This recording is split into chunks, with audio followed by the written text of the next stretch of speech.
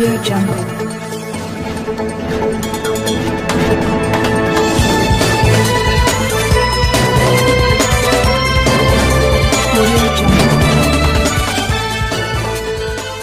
दादरी समाचार ग्राम दादोपुर वालों ने जलाए उम्मीद के दिए दादरी कोरोना के खिलाफ जंग में देशवासियों की भागीदारी को सुनिश्चित करने और संकट के समय में साथ मिलकर उम्मीद का दिया जलाने की प्रधानमंत्री नरेंद्र मोदी की पहल का गौतम बुद्ध नगर जनपद के दादरी क्षेत्र के गाँव दादुपुर खट्टाना ने भी दिल से स्वागत किया।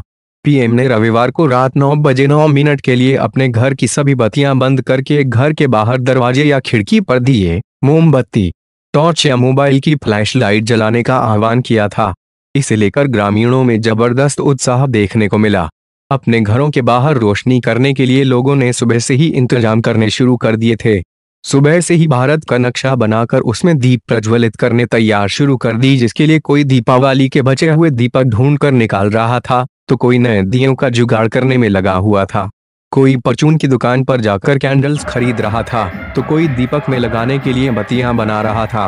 सोशल मीडिया पर लोगों ने दोपहर से ही अपनी अपनी तैयारियों से जुड़े फ़ोटो शेयर करने शुरू कर दिए थे। जैसे ही रात्रि के नौ बजे तुरंत लोगों ने नक्शे चारों तरफ़ दीप प्रज्वलित कर दिए, जिसको जगमगाता देख लोगों की खुशी का ठिकाना नहीं रहा। फोटी और वीडियो को शेयर करने पर आसपास के लोगों ने उनके इस देशभक्ति कार्य की सराहना करनी शुरू कर दी। रिपोर्ट था शून्य अमित सिसोदिया।